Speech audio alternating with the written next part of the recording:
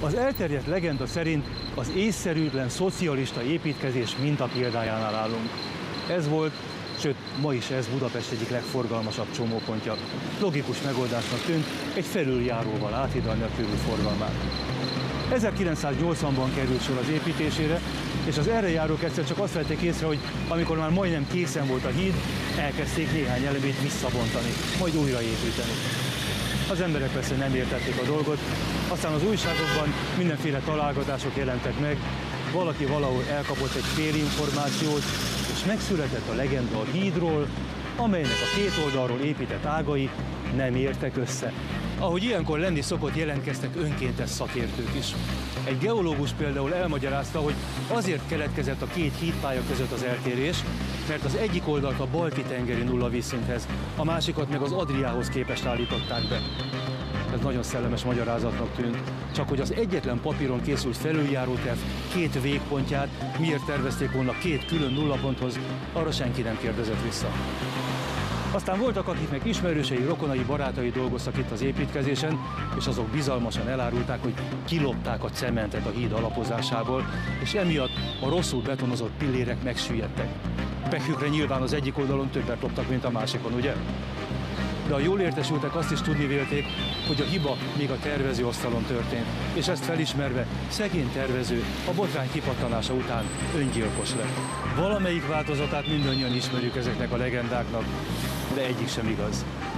A tervező, Welner Péter, köszöni szépen jól van, sőt, ő tervezte a szintén nagy visszhangot kiváltott Körös hegyi völcsidat, ami a körülötte zajló polémiától függetlenül hídként önmagában bizonyára kiváló munka, építészeti nívódiat is kapott érte. A tervező a szakmai önéletrajzában leírja, hogy mi is történt 1980-ban ezen a téren. Ezt a felüljárót úgynevezett szabad szereléses módszerrel építették, aminek az a lényege, hogy előbb lent a földön előre legyártják a híd elemeit, össze is szerelik, majd amikor látják, hogy minden stimmel, akkor szétszedik az egészet, elviszik a helyszínre, és akkor ott már nem kell betonozgatni külön-külön, hanem csak összerakják az elemeket, mint az építőkockákat.